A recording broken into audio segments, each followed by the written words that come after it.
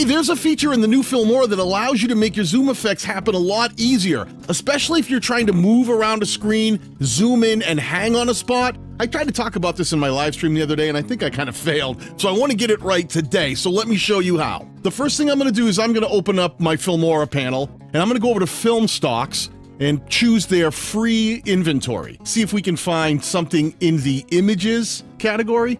Filmora has a lot of great images that are free that you can use uh, in your own projects, so stop by and check some of them out. Here's one right here. Let's try this one right here.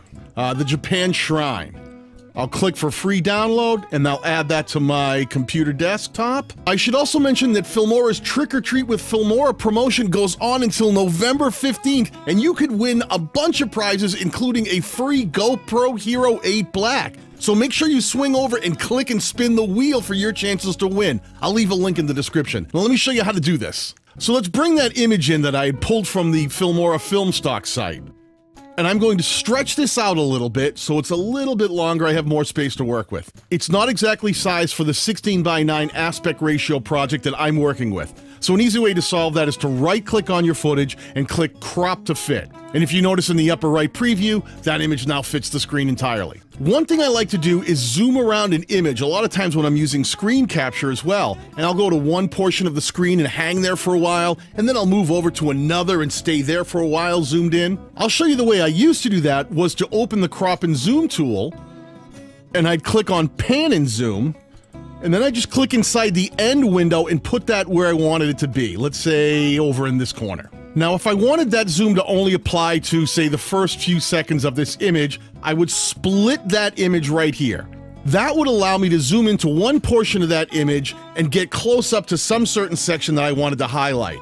But once I got there, a lot of times I wanted to stay there. Right now, it's just repeating that zoom. And what I used to do was I would click on that second section, open up the crop and zoom tool again, click on the pan and zoom feature, and I would stack these boxes together. Basically, I would make each one of these be the same size so that the start point was the same as the end point. Effectively, I'm telling the start point and the end point to be the same so that the zoom isn't really moving anywhere. It's just staying still. It's not panning in, it's not zooming out. And that was one way to do it, but you can see sometimes getting those boxes to align perfectly is really tricky. So I want to show you a better way to do that that was pointed out to me by a community member named Lord Buckethead. Thank you, Lord Buckethead. We appreciate it. Shout out to you, my friend. So if you split your footage, you now have that pan and zoom effect zooming in the same way it does on the first piece as it does the second. And you'll see if I play it, it zooms in.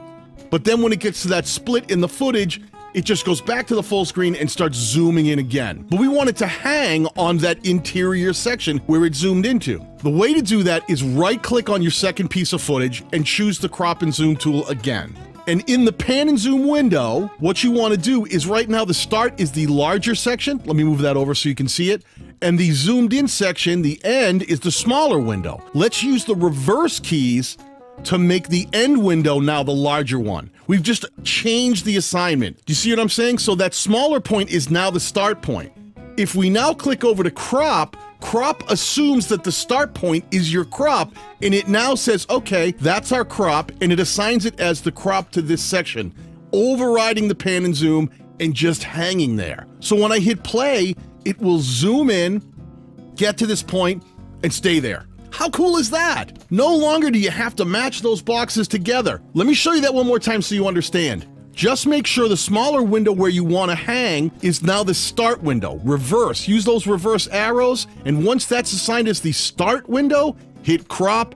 It will save it as a stationary object. Hit OK, and you are good to go. Boom, look at it hang there. Lord Buckethead, thank you so much for that tip. I hope that's helpful to you. Make sure you head over and spin that wheel one more time on the Filmora website for your chance to win more prizes from Filmora. I'll see you soon. Peace.